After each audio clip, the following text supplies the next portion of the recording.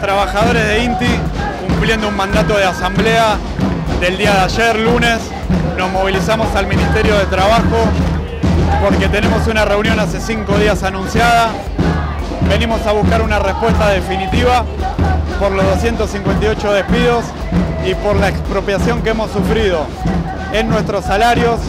que van del 40 al 50%. Estamos en el día número 47 de la histórica lucha del INTI de permanencia y paro general.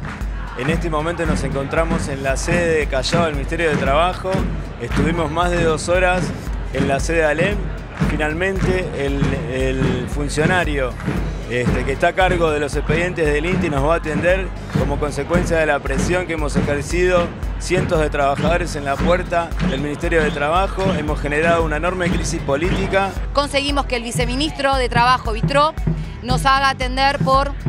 el director nacional Zamudio, que es quien tenía el expediente del instituto. Llegamos aquí a Callao 114, nos atendió el subdirector Pedro Frankentel, quien automáticamente nos dice que creía que había un dictamen y a los pocos minutos nos da el dictamen que solamente dice que no es precedente pedir una audiencia a través de la ley 24.013 eh, que es para el sector privado, pero nada dice de nuestro pedido de audiencia a través del sector público o el canal que ellos arbitren, que podría ser directamente intervenir de oficio. Es evidente que la movilización de los trabajadores nos ha llegado a que nos tengan que responder de esta manera y sin duda, a partir de la asamblea mañana y la profundización de todas las movilizaciones, del paro contundente y de seguir profundizando las crisis que tienen estas autoridades, rodeadas de sospecha de corrupción, va a hacer que el Ministerio de Trabajo tenga que dar una respuesta que quiere evitar porque sin duda es solamente a favor de los trabajadores.